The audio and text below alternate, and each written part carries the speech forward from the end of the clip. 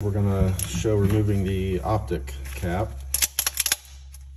Lock the slide back.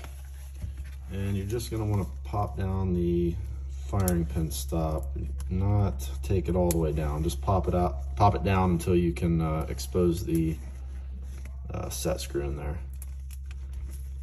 Take the set screw out. Pop the firing pin stop back up.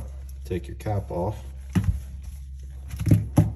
This is cut for a Delta Point Pro, so we'll throw that on. And there we go. You'll want blue Loctite on your screws before you tighten these down. Then you'll take your rear, our rear fixed sight, this little guy here, goes right there. We've got another little second socket head uh, cap screw. Want blue Loctite on there as well. And you don't want to torque this down crazy tight. You know, just get it snug. And that's it. Good to go.